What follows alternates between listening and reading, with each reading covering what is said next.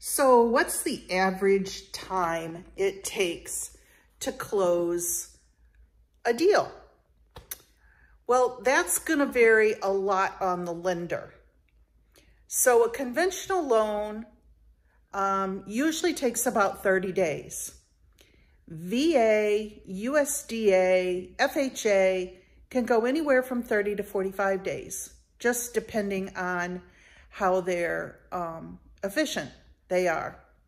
A cash deal can close in a week or two unless the homeowners association has to approve the buyer and then you have to go through an application process.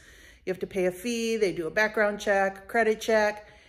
Um, estoppel letters have to be ordered by the title company and we can't close until the estoppel letter comes back saying that you've been approved and um, if there's any balances that the current owner owes, then that is removed um, from their proceeds and then the title company will pay that off. So if you have to get an approval from an association, figure 30 days. Um, sometimes they get it done pretty quick. It just depends on the association, whether they'll turn it around quick or not.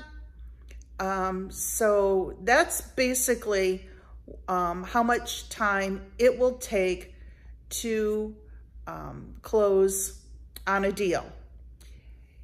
If you have any questions, my contact information is below. I have some great links to resources in the description. Feel free to click on any of those that you might feel that is applicable.